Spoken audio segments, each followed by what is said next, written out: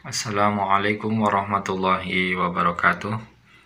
Baiklah, langsung saja kita simak kajian dari Fahrudin Faiz dan juga Gus Baha mengenai ilmu laduni. Monggo kita simak bersama-sama videonya. Untuk dapat laduni, prosesnya ada empat. Yang pertama penting adalah proses mempersiapkan diri ini bagi kita yang biasa-biasa, ini yang berat. Mempersiapkan diri untuk pencahayaan dari Allah, untuk isyrok dari Allah. Ini yang riadoh, ini yang mujahadah, pembersihan diri. Kalau sudah siap mengalami yang kedua, iluminasi, isroki, Kalau sudah dicahayai, jangan salah, sampai di titik ini, sampai di nomor dua, itu karakternya ilahi. Tapi begitu masuk ketiga, ini karakternya manusiawi lagi. Memahami, membangun pandangan sistematik, dipahami. Pemahaman ini levelnya manusia. Apalagi yang terakhir, mengungkapkan.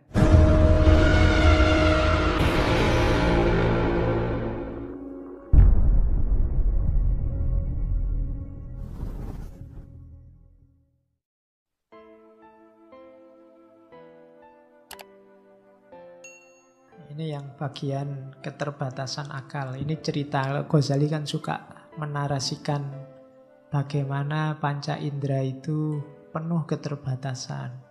Bagaimana akal itu penuh keterbatasan. Kalau laduni tidak. Kenapa laduni tidak? Karena laduni sumbernya pengetahuan dari Allah yang maha tahu. Panca indera terbatas, kelihatannya A tapi bisa jadi hasilnya B. Dari jauh kelihatan mulus, dari dekat, wah kok begitu. Nah itu panca indera. Bisa mudah tertipu. Akal juga begitu. Akal itu kan sering trik. Yang baik kelihatan jelek, yang jelek kelihatan baik itu akal. Akal sering tertipu merasa orang soleh tapi ternyata sebenarnya belum soleh. Itu ketertipuan akal. Dalam banyak kasus sering terjadi. Nah, kalau akal sama panca indera terbatas, kalau kalau dunia tidak. Kenapa? Karena dunia sumbernya langsung dari Allah. Karena dari Allah ya tidak ada batasnya, sudah isinya bisa macam-macam. Dunia wa mafiha wal akhirah wa mafiha bisa. Makanya para wali itu kadang-kadang bisa bahkan membaca akhirat. Nanti baca biografi para wali, mungkin kamu cek-cek kitab-kitab semacam Tadhkiratul Aulia itu biografinya para wali. Akhirat aja dibaca apalagi dunia. Apalagi kayak acara karma itu yang kamu pernah melakukan ini itu lebih gampang lagi kalau Allah menghendaki. Jadi tidak ada batasnya. Jadi makanya besok kalau ada yang gitu-gitu kamu tidak usah kaget. Kita sudah punya konsep itu lama dalam ilmu laduni. Sayangnya memang yang punya laduni tidak banyak. Itu yang bikin kita kaget-kaget hari ini. Apalagi ilmu kita ilmu positivistik, ilmu kaku, ilmu akal, dan panca indera yang serba terbatas. Masalahnya di situ. Oke, ini kalimat belakangan dalam arisalah ala dunia. Jika Allah menghendaki kebaikan pada hambanya, jadi orang yang oleh Allah dikasih pengetahuan dunia, berarti Allah menginginkan dia kebaikan dengan pengetahuan itu. Allah akan mengangkat tabir antara jiwa hamba dan jiwa yang di dalamnya ada telaga. Maksudnya jiwa universal, akal mustafat atau Nur Muhammad kalau bahasanya Ibnu Arabi. Allah menampakkan dalam jiwa hamba sebagai rahasia realitas dan memahamkan dalam jiwa hamba makna realitas itu.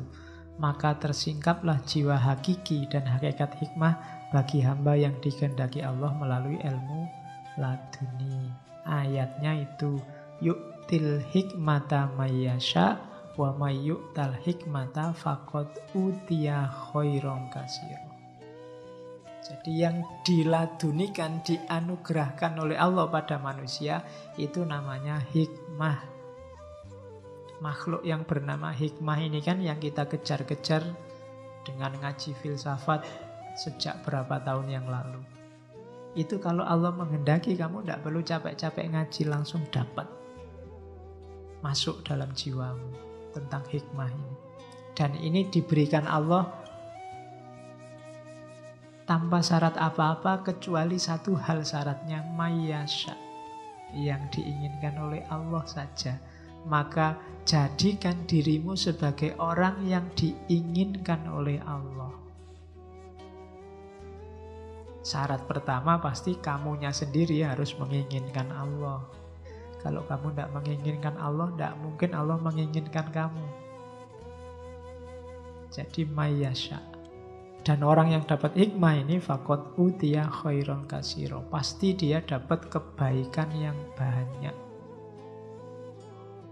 Wama yadzakaru illa ulul albab dan tidak akan berpikir, tidak akan ingat tentang hal-hal semacam ini kecuali ulul albab, orang yang peka kolbunya, orang yang jernih kolbunya itu ulul albab. Maka ini Al-Quran. Jadi kalian cari sendiri jalan biar kita diridhoi oleh Allah, Allah menginginkan kita. Nah nanti dalam hidup ini kenapa sih ada laduni? Karena hidup ini variabelnya dua. Ada sunnatullah, ada kudratullah. Sunnatullah itu hukum Allah yang pasti. Kalau ini kita bisa belajar secara khusuli, secara ta'alum insani. Tapi yang kudratullah tidak. Kita menempuh kudrotullah satu-satunya jalan ya secara laduni. Pengetahuan dari Allah langsung. Laduni bisa juga tentang sunnatullah. Tapi dia juga bisa tentang kudrotullah. Tapi ta'alum insani yang model manusia bisanya hanya sunnatullah. Tidak bisa kudrotullah. Sunnatullah itu kalau kamu tidak makan tiga hari mesti kelaparan. Itu sunnatullah. Tapi tidak makan tiga hari, kok kamu masih ketawa-ketawa santai? Ah itu kudratullah. Ya. Jadi intervensinya Allah. Sunnatullah itu kamu loncat dari gedung lantai 20 dan tewas, itu sunnatullah. Kita memedomani sunnatullah. Tapi kamu loncat dari gedung lantai 20 kok pas di bawahnya ada truk bawa kasur banyak. Itu kudratullah, kehendaknya Allah. Sunnatullah itu kamu cakep dapat pasangan cakep. Kudratullah itu kamu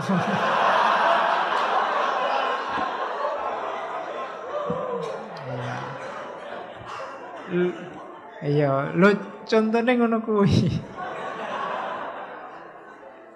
Nah, dan kudratullah saya bilang tadi, kudratullah hanya bisa ditangkap oleh ilmu laduni. Ilmu biasa tidak masuk akal Pak. Tapi yo, itu laduni. Jadi kalau kalian punya pacar cakep, terus ada, wah tidak masuk akal. Loh ini memahaminya pakai laduni. Tidak bisa pakai ilmu biasa. Karena memang itu yang saya bilang tadi, Allah anytime intervensi. Kapan pun Allah bisa intervensi. Jadi namanya kudrotullah. Dari situ ilmu laduni bermain. Kalau ilmunya manusia biasa yang kita kejar hanya bisa menjangkau yang sunnatullah. Kalau ada orang tanya, Pak loncat dari lantai 20 tewas enggak Pak? Jawabanmu iya mesti tewas. Kenapa? Karena kita manusia ngertinya yang sunatullah. Meskipun ya enggak mesti juga kalau Allah nolong kemudian anu ah, itu levelnya kudratullah. Bukan ranah kita tapi masih ada kesempatan enggak tewas. Tapi levelnya kudratullah. Makanya manusia disuruh berdoa. Kalau hanya sunatullah, kita tidak pakai berdoa. Tidak berdoa, wong semuanya sudah pasti. Kalau saya jelek, miskin kayak gini, ya mesti dapatnya ya tidak jauh-jauh dari itu. Itu sunatullah. Tapi kan jangan khawatir ada kudratullah. Iya, jadi pada saatnya Allah bisa intervensi, tenang saja. Nah itu kudratullah. Dan ini levelnya ladunia, ilmu laduni. Oke, saya pinjamkan dari Suhrawardi seperti janji saya tadi. Berarti apa? Untuk dapat isroki, bahasanya Suhrawardi, untuk dapat laduni, prosesnya ada empat. Yang pertama penting adalah proses mempersiapkan diri. Ini bagi kita yang biasa-biasa, ini yang berat. Mempersiapkan diri untuk pencahayaan dari Allah, untuk isyrok dari Allah. Ini yang riadoh, ini yang mujahadah, pembersihan diri. Kalau sudah siap mengalami yang kedua, iluminasi, isroki. Kalau sudah dicahayai, jangan salah, sampai di titik ini, sampai di nomor dua, itu karakternya ilahi. Tapi begitu masuk ketiga, ini karakternya manusiawi lagi, memahami membangun pandangan sistematik, dipahami. Pemahaman ini levelnya manusia. Apalagi yang terakhir, mengungkapkan pengetahuan itu. Ini juga levelnya manusia. Jadi pertanggungjawabannya berarti juga manusia ilmu laduninya yang dari Allah itu pasti bagus, pasti baik. Tapi penangkapan kita dan pengungkapan kita itu sepenuhnya tanggung jawab manusia. Jadi akal berperan di mana, manusia berperan di mana dalam ilmu laduni setelah pengetahuan itu diperoleh. Jadi setelah pengetahuan itu diperoleh, terus ilmu ini mau dipakai apa, diungkapkan seperti apa, ungkapan dan pemakaian pemahaman itu sepenuhnya milik kita. Jadi ilmu laduni itu berarti apa? Proses diperolehnya pengetahuan. Kalau pengetahuannya sudah diperoleh, pengetahuan ini dipahami seperti apa dan diungkapkan seperti apa, itu tanggung jawabnya sudah manusiawi. Level ketiga dan level keempat. Jadi kalau ada orang misalnya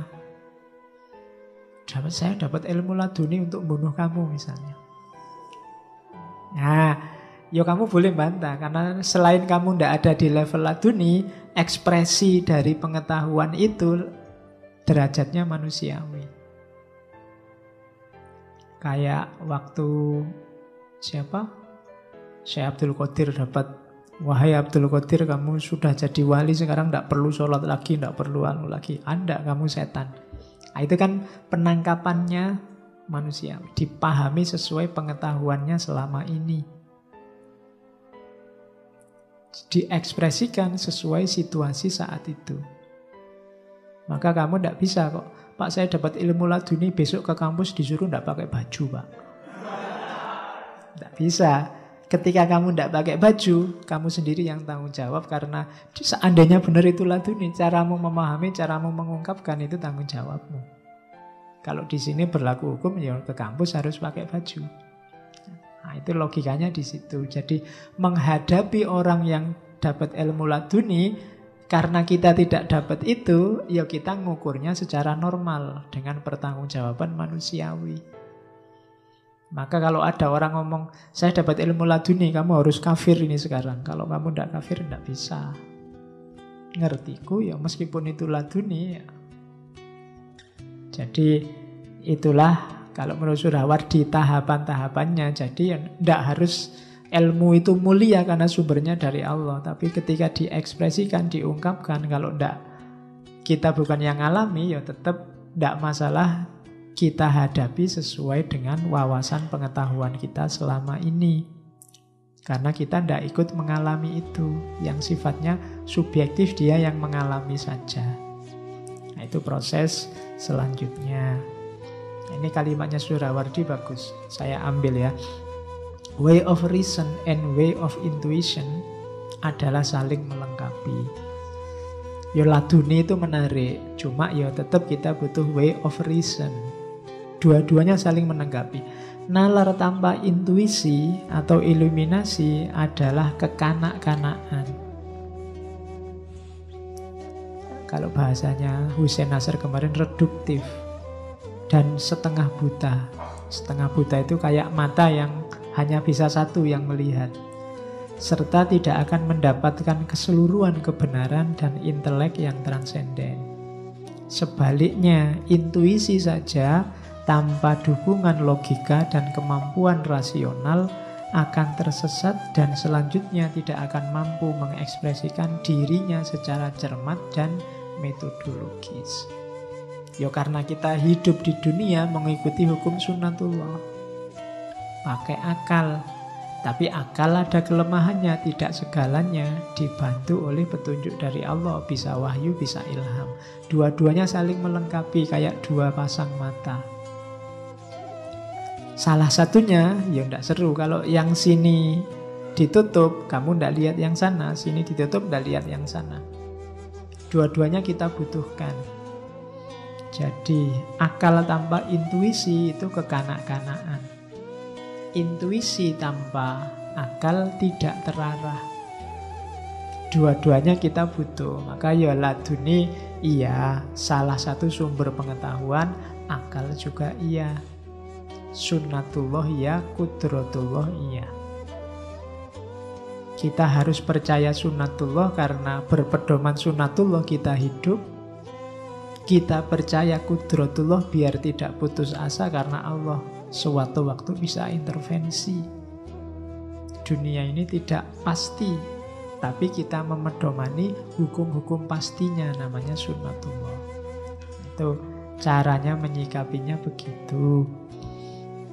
Terakhir kita ngaji sebentar. Ya, namanya ngaji Benono Arab Arabe. Ada beberapa ayat yang populer menunjukkan bahwa Allah memang ngasih ilmu laduni pada hamba yang dia sayangi. Itu surat Kahfi ceritanya Nabi Musa sama Khidir. Jadi Nabi Musa sama Khidir ini biasanya jadi simbol ceritanya laduni. Kan suatu ketika ceritanya Nabi Musa itu ditanya oleh umatnya, wahai Nabi Musa, manusia paling pinter di dunia ini siapa? Dengan pedenya Musa bilang, aku. Tidak ada lagi yang lebih pinter dari aku. Terus oleh Allah, Musa kamu kok gaya gitu? Ya, baiklah. Ayo kamu tak kenalkan dengan hambaku yang jauh lebih pintar dari kamu.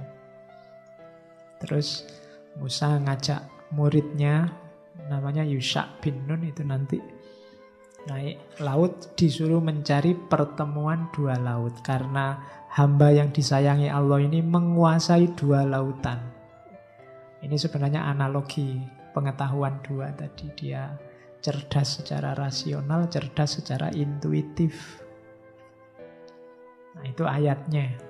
Fawajada abdan min ibadina atainahu rohmatan min indina wa alamnahu milladunna ilma. Kalau dari urutannya ayat, dan dia ketemu dengan salah seorang hamba kami Sebelum dikasih ilmu laduni apa dikasihnya? Rohmatan min indina.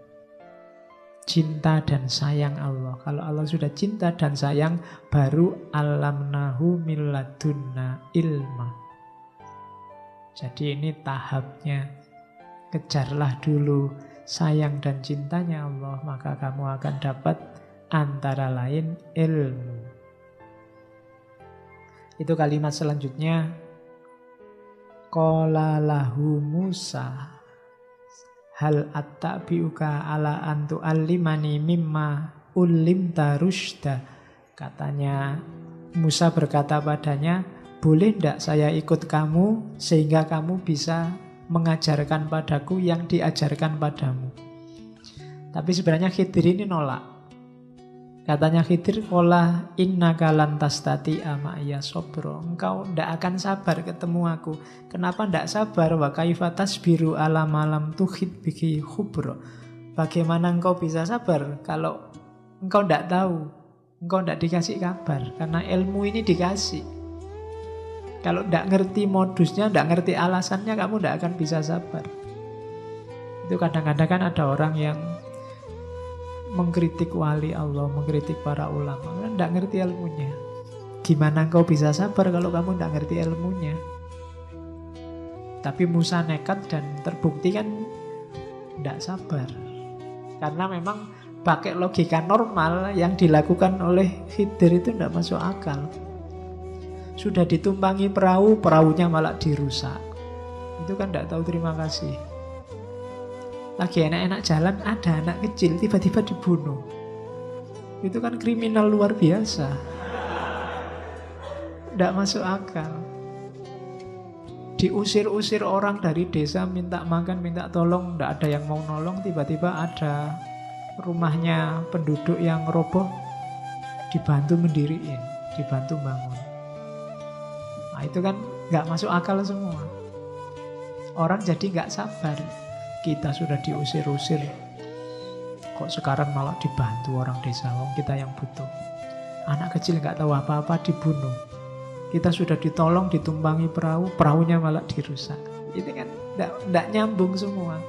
Tapi kalau ngerti alasannya baru nyambung. Nah, orang biasa yang tidak dikasih alasannya ini, kalau Khidir dikasih. Itu yang disebut miladunna ilma. Maka ini bisa kamu jadikan dalil untuk tidak mudah menyalahkan orang lain. Karena kita tidak tahu alasannya, tidak tahu motifnya, dia yang tahu. Wa kaifa tasbiru ala malam tuhid bihi khubro.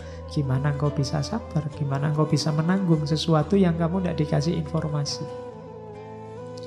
Akhirnya bisa, kapan-kapan kita ngomong lagi Manusia Langit jilid kedua.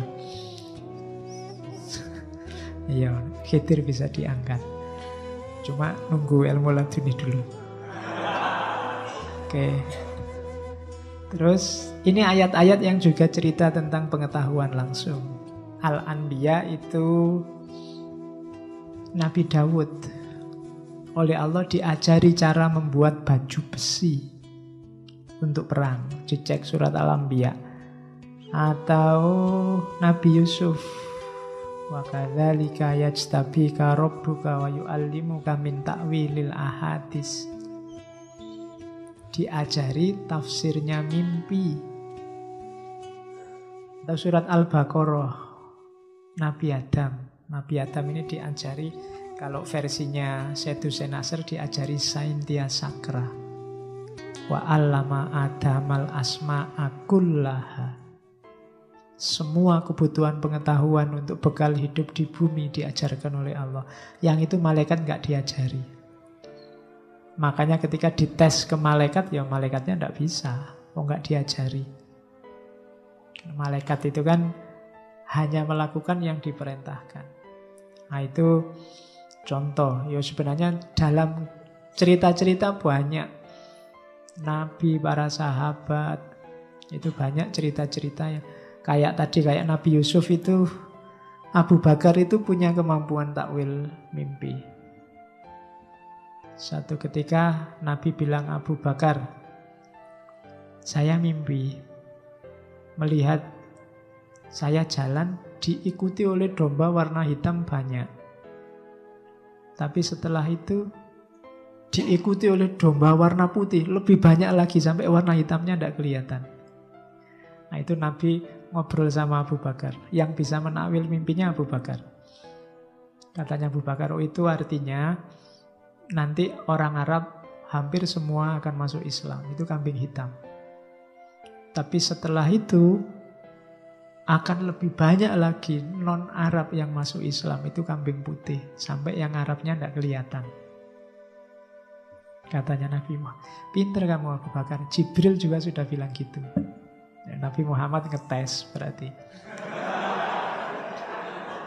Iya. Jadi ya kan ada lagi yang Abu Bakar itu waktu Nabi mimpi Abu Bakar, aku mimpi kita berdua lomba naik tangga. Dan aku menang. Aku menang dua setengah tangga. Katanya Abu Bakar, oh itu maknanya Nabi nanti Nabi akan meninggal duluan, dua setengah tahun setelah itu baru saya. Dan ternyata ya pas. Ke Khalifah Abu Bakar kan dua setengah tahun, terus beliau meninggal. Itu Abu Bakar. Belum lagi Umar. Kalau Umar ya lebih canggih lagi. Umar itu enak-enaknya khutbah Jumat terus teriak-teriak. Wahai Syariah, lari ke balik gunung, lari ke balik gunung. Itu teriak-teriak begitu. Sahabat iki lu, orang khutbah kok teriak-teriak ndak jelas ini. Waktu ditanya katanya Umar, ya waktu dia khutbah dia melihat pasukan yang sedang perang di Nahawan, perang di daerah Persia. Itu sedang terdesak mau kalah dan Umar teriak-teriak mengingatkan orang suruh lari, suruh berlindung ke balik gunung. Nah, ini kan pengetahuan ini dari Allah. Jadi Nabi Muhammad kan juga begitu. Waktu Isra Mi'raj, begitu pulang dari Isra Mi'raj, ketemu Abu Jahal, katanya Abu Jahal, beneran kamu habis dari Masjidil Aqsa? Iya. Berani jamin, berani. Akhirnya kan orang-orang tak undang ya katanya Abu Bakar. Ya diundang semua. Jadi orang pertama yang memperingati Isra Mi'raj itu Abu Jahal.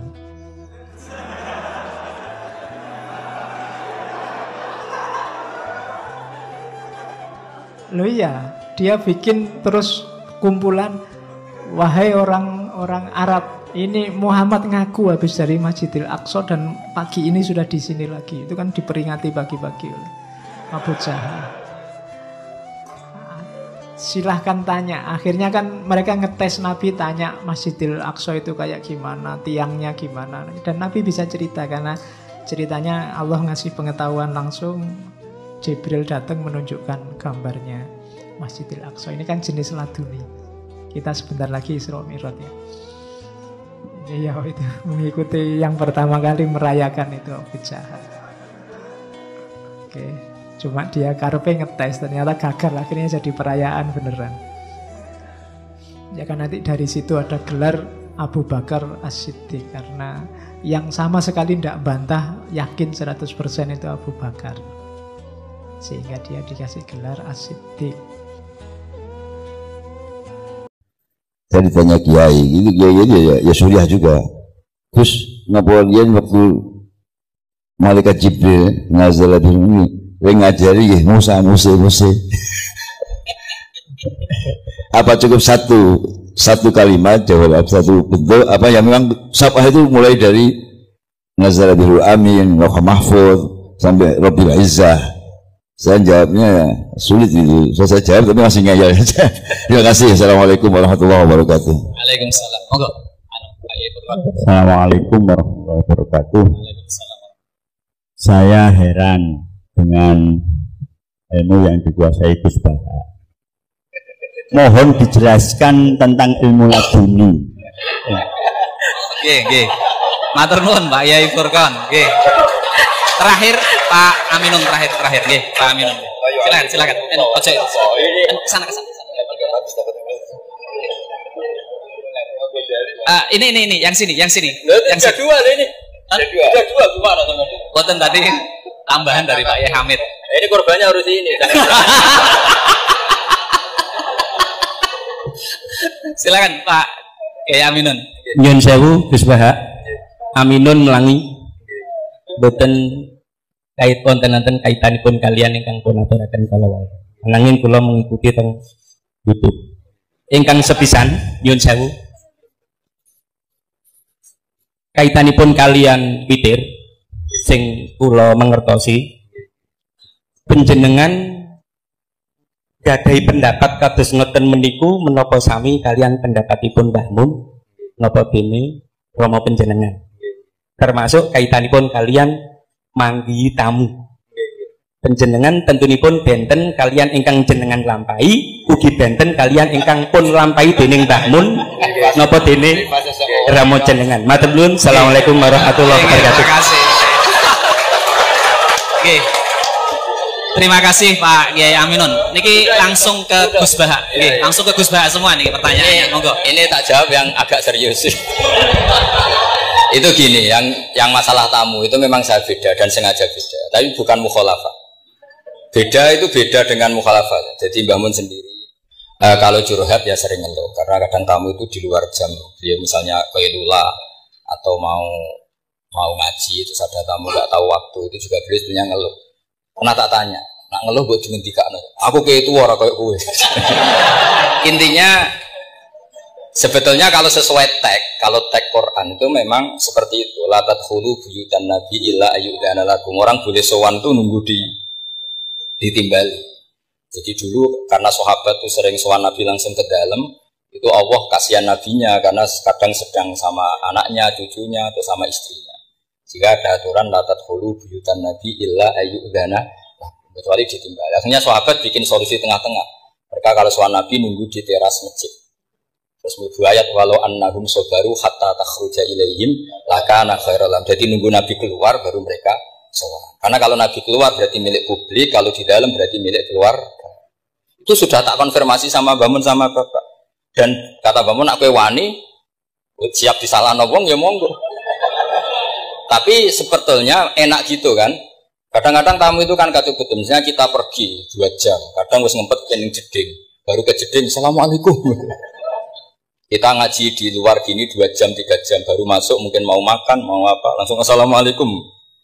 Itu kan secara nalar kan enggak etis. Makanya saya umumkan kalau mertamu harus ada aturannya. Seperti zaman dulu ada aturannya. Walau annahum sobaru hatta takhruja ilaihim. Jadi nabi yang keluar. Kalau nabi keluar ke masjid berarti milik publik. Kalau sudah masuk berarti milik keluarga.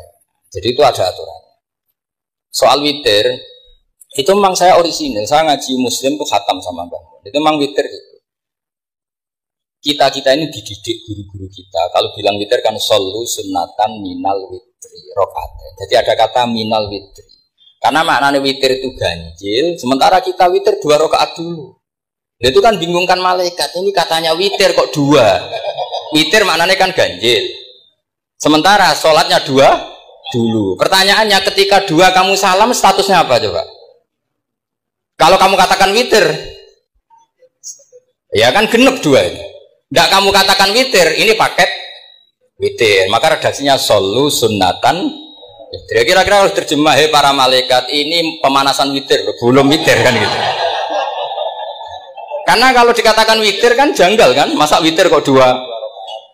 Kalau kamu katakan, ya enggak Gus, rencananya tiga. Lalu setelah salam kan seles, selesai. Enggak ada dua ini paket dari tiga enggak bisa. Setelah salam yang menjadi sholat dan mustakil lah, sholat yang berdiri. Nah, jadi soal tamu dan witir seperti itu. Dulu Nabi juga enggak mau menegur tamunya. Sampai Allah sendiri yang ngendikan apa inna dzalikum kana yu'dzin nabiyya fayastahyi minkum sebetulnya mertamu seorang sonong itu mengganggu nabi coba aman bayangkan saya itu gak sekedar bayangkan saya ini korban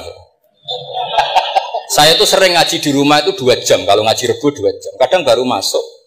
Makan baru satu puluhan. Assalamualaikum coba bayangkan. Iya itu kalau sekedar makan. Kalau saya ngurmat ibu saya masuk rumah ibu saya itu sudah sepuh. Kadang ibu sudah menunggu. Kok suwi ngaji pas baru senang-senangnya ibu ketemu saya sudah ada tamu. Sekarang makomnya tamu sama ibu itu tinggi mana? Jadi orang itu bu yo ngerti aturan. Nah saya ingin mendidik masyarakat tuh jangan kalau bangun kebaikannya luar biasa, tentu beliau kuat nyabari semua. Dan kiai itu kadang sahabat pun zaman Nabi sering nggak niru. Bukan berarti mukhalafah tadi. Ketika Nabi terlalu baik, sahabat gak patio. Alasannya apa? Dua Rasulullah, ayyidullah bil mujizat. Masyur. Abu Bakar itu bikin betul mal untuk ngelola kepegawaian. Nabi enggak. Ketika ditanya, zaman Nabi enggak ada betul mal. Gua Rasulullah nggak usah ditertibkan sudah tertib. Umar bikin gaji sama tentara. Ditanya zaman Nabi tentara gak di gaji. Gua Rasulullah ora digaji uang wis perang. Aku ora tak gaji ora berangkat. ya kira-kira gitu. Gua Mbah Mun terlalu baik. Aku anut kok Mbah Mun. Wah, ribet. Gitu. Jadi pertanyaan ini agak kriminal sebetulnya. Jadi itu nggak perlu sama terima apa enggak, tapi nak rabok tombol yakin kualat. Karena jelas itu jelas. Tentu kita itu ingin lah sama-sama enak, enak. Kita sudah tiga jam ngaji. Saya ngaji rebo itu kadang sampai tiga jam. Artinya anak saya kalau mau dolan ya nunggu. Istri saya mau lapor ya. Baru masuk rumah mau lapor, assalamualaikum juga teman bayangkan. Banyak kiai sepuh, saya sering dari anak kiai sepuh. Baru pulang karena tamu sudah nunggu lama, sekali masuk rumah langsung assalamualaikum. Padahal kiainya mau ke kamar mandi, mau lapor-lapor istrinya tentang apa. Makanya dulu di akhir walau annahum sobaru hatta takhruja ilaihim. Harusnya tamu-tamu itu sabar sampai Nabi yang keluar. Kalau Nabi sekali keluar ke masjid berarti milik publik. Makanya ketemu Nabi di sufa. Tidak di dalam, tapi ketemu di Jadi saya menjelaskan ini bukan untuk membela dia, bukan. Sama setuju tidak setuju, saya akan tetap seperti itu. Berdasar legalitas yang saya. Tapi sama harus mau mendengar ini supaya memahami ayat itu gampang. Walau annahum sobaru hatta takhruja ilaihim lakana khairan. Kalau sama tanya, itu kan nabi. Ya iya kita mau niru siapa ya? Kalau gak niru nabi. Ya, terus yang pertanyaan tadi itu yang yang Kiai Hamid tadi, memang eh, kitab yang saya baca semuanya sepakat. Jibril itu hanya mengajarkan satu huruf. Yang lainnya itu sifatnya ijazah, pembolehan. Makanya kalimatnya di hadis asli kan falam azal astazidu. Jadi ketika Jibril mengajarkan harfin wahid, terus Nabi ngendikan inna umati la tutiku dalik. Umatku tidak tidak mampu melakukan itu. Akhirnya ditambahin. Makanya kata Imam Zarkasi dalam kitab Burhan, Jibril hanya mengajarkan satu kefiah. Kemudian kefiah yang mu'tabaroh sifatnya diberi izin. Karena kita tidak bayangkan kan Nabi mengajarkan sampai tiga kali, empat kali. Misalnya aha jamiyu wa'arobi dulang lagi. A jamiyu wa'arobi dulang lagi. A jamiyu wa'arobi. Gak kebayang. Tapi tentu syaratnya harus itu mustafidah filisanil arab. Memang pilihan-pilihan itu mustafidah filisan. Contoh gampang itu imalah para habaib, para orang-orang kita hormati itu spontan ya bilangnya ente. Artinya imalah itu kayak lazim. Guna ya hina kan orang-orang Arab. Ya, ya, ya, artinya memang lahjah mereka itu sudah seperti itu. Ta'al hina juga ada orang Arab bilang apa? Guna. Ya, ya kan? Jadi artinya itu lahjah. Lahjah itu disahkan. Tapi tentu yang diajarkan Nabi tentu yang paling fidar watil fasoha, tentu yang dipilih itu yang benar-benar tingkat fasohnya paling paling. Jadi kalau ada ikhtilaf riwayat dan awir riwayat itu sebetulnya kita milih satu saja sesuai guru-guru kita karena riwayat sunat dan mutaba'ah. Tapi kita tetap membolehkan karena Nabi membolehkan. Tapi tentu tentu tidak boleh pakai akal. Pakai tadi apa? Mustafidah filisanil ya kayak tadi lah memang orang Arab itu sebagian baca ya ya Yuhan Nabi mau Nabi pas itu ya agak negur mau aku itu kures Senyum-senyum tak ketika ada orang Bedui bilang ya ayuhan Nabi anak Quraisy, Nabi wong Quraisy. Aku nak mau ikut cuma ya ayuhan Nabi. ya sudah akhirnya ya sudah akhirnya sampai sekarang jadi Angger Hamzah itu mesti kasusnya seperti itu semua Hamzah. An Nabiin. Kita baca apa? An Nabi. Allahu yastahzi'u ada yang baca yastahzi kan gitu. Jadi semua yuk minu ada yang baca yuk minu dan seterusnya. Kalau pertanyaannya jenengan nggak perlu dijawab. Kan kata Gus Dar ilmu laduni itu rahasia.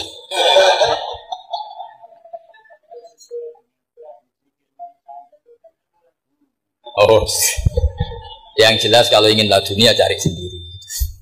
Cari sendiri karena itu mau hibah. Saya sendiri ya tidak tahu salah dunia apa tidak. Pokoknya penting ngaji terus pakai tradisi yang Bikol bin Salim. Bapak saya yang sering wasiat itu pokoknya ngaji itu Bikol bin apa?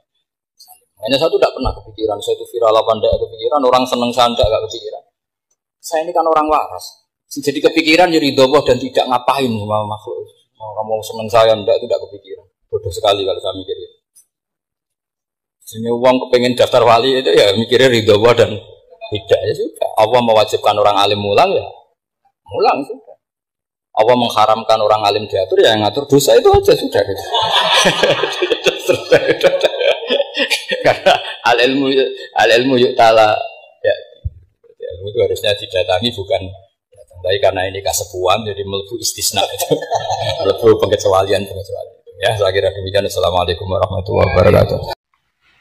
Baiklah, terima kasih karena sudah menyimak video dari pengajian Fahrudin Faiz dan juga Gus Baha. Kami ucapkan terima kasih. Semoga kita mendapatkan pencerahan dari kajian-kajian beliau tadi. Sekali lagi kami ucapkan terima kasih. Wassalamualaikum warahmatullahi wabarakatuh.